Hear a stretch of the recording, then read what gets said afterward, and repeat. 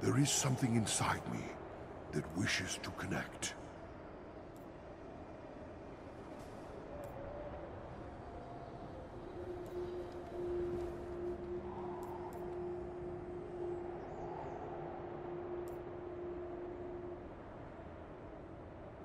An end is here.